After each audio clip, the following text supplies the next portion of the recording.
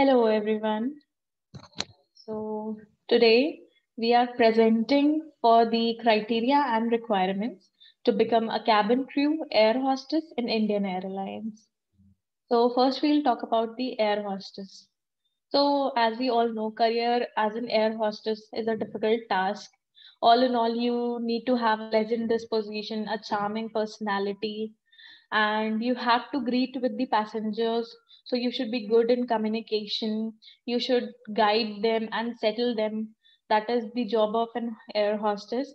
And the rest of the job contains like coordinating with the crew members or the security to know that everything is going fine in the flight with the passengers and the crew members the skills and attributes that you have are sense of responsibility. Basically every air hostess is a responsible person because she guides the passengers uh, regarding their seat numbers. She also greets them and she also uh, um, tells them that what are the uh, basic requirements to uh, follow while sitting in an uh, airplane then her personality should be pleasing as i already mentioned. Then presence of mind matters a lot because any passenger can ask any kind of query and that should be answered on the spot and in a correct manner. So uh, uh, you should take the initiative and you should have a good presence of mind.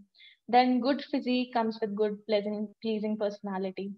Then you should also have patience for working for longer hours because sometimes it happens that you have to work for more than like if your job is of 8 hours and you can work for like uh, 10 hours or 11 hours that depends on the work if you get an extra work.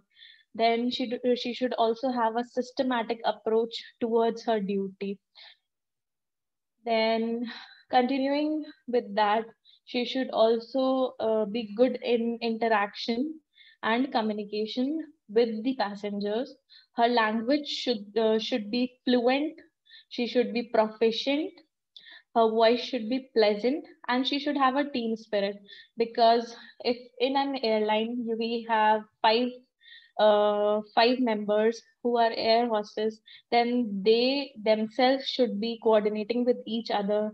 So there should be team spirit and working with the within the team is a good job then positive attitude also matters a lot and uh, in the end sense of humor that makes a difference.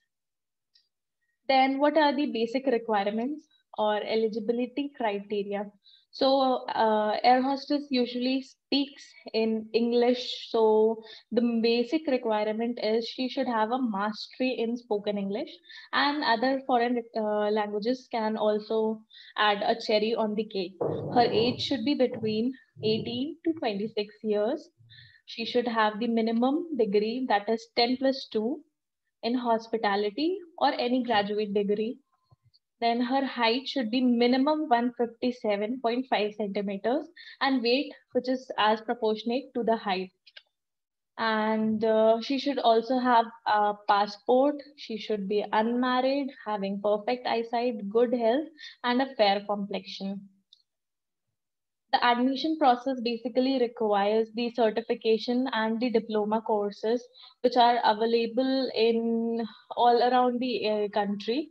And uh, we can uh, apply directly in the institutes that are giving these courses. And after that the screening process and the entrance exam happens.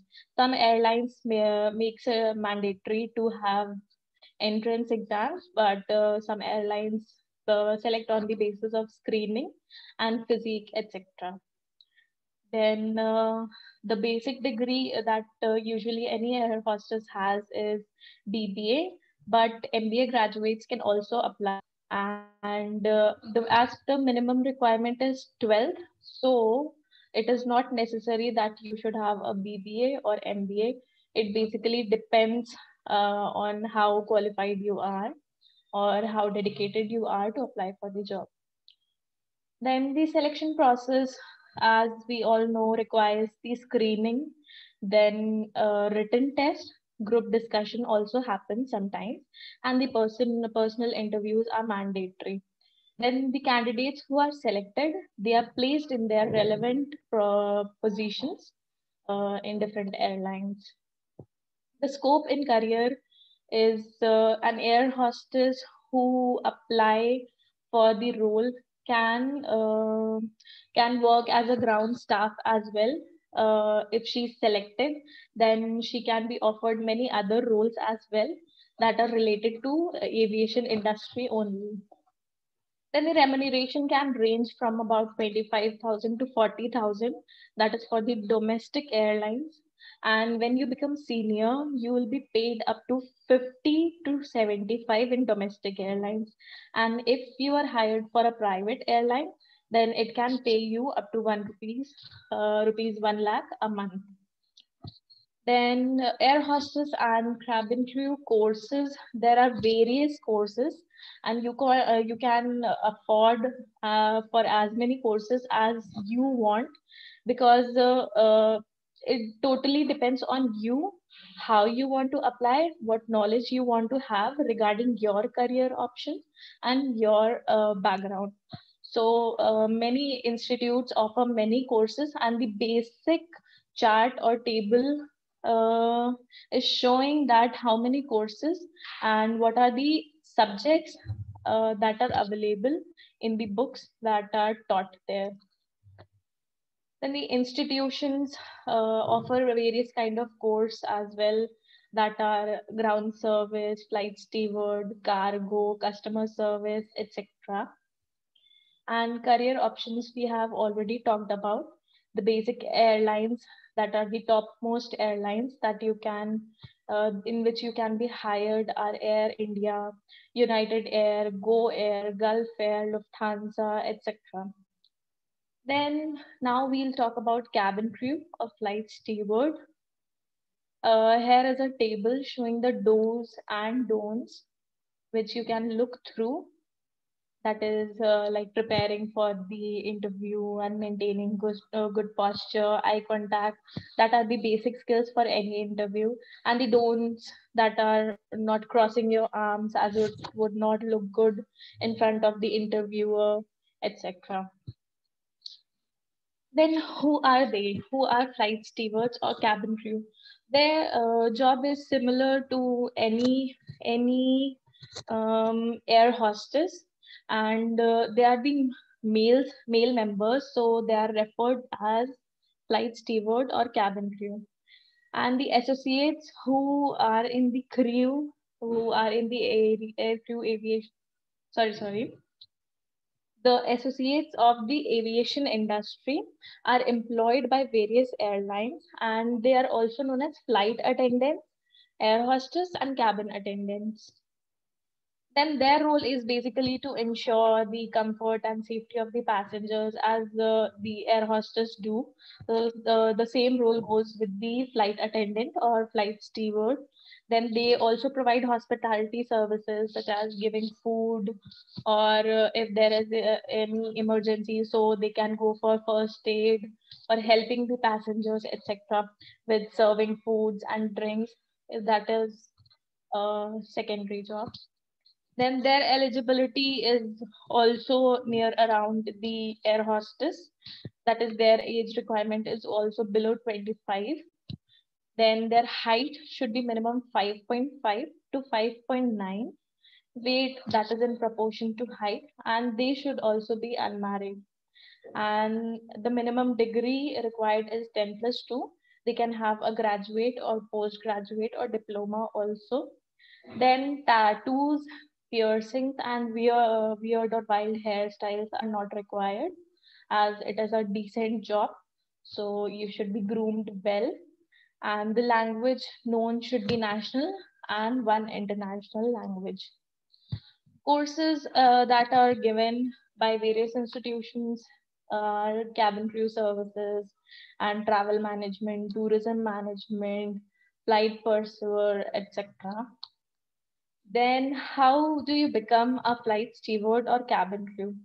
There are various procedures similar to uh, any airline job that is you are uh, given a advertisement and then you see it through any mass media or any social media or newspaper, then you go for the written test, the interviews, and the GDs.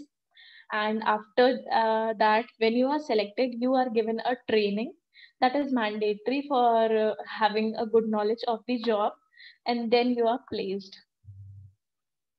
Now, the selection process basically requires same things that I mentioned, that is filling online applications, then assessment includes interviews, GDs, and medicals can also happen. Then trainings, which can go up to eight weeks, and then your job. The skills required are basically you should be good in communication, then you should be confident and patient enough because patience also matters. Sometimes there are people who are aggressive and they can ask you questions that can literally mess up your mind so you should have a patient uh, attitude. Then you should solve their problems in a very flexible manner and with a good coordination skill. So that is also another skill required. And you should be friendly in nature. Uh, the prominent institutions who give these kind of trainings for air hostess and flight steward, cabin crews, etc., are mentioned here which include Air Hostess Academy and Kingfisher Training and Aviation Service, which is famous, Asiatic International Aviation Academy, etc. The job and careers include uh, jobs can be uh, not only in India but also abroad. So you can uh, go along the countries and visit uh, and, and do an adventure all around the world, and you can earn a handsome salary. That is that is what you get. Then other responsibilities include like uh, making them comfortable the passengers comfortable and if any emergency is there then you should help out the people uh, or if uh, uh, something goes wrong in the cabin then you are the first one who should go to help the people the crew members and uh, guide the passengers as well so that they should not panic. Salary salary is also similar to an air hostess uh, air hostess cabin crews etc get a salary range between 2.5 to 4.5 per annum that is when you are a beginner but when you get experience it can rise as well and in a private sector, it can go up to 6 lakh per annum. And uh, in the international airlines, uh, a person can get 9 to 10 lakh also. And it can also increase depending on your experience. Okay, so these are some of the courses and classes that are mentioned. And the exams are also mentioned here.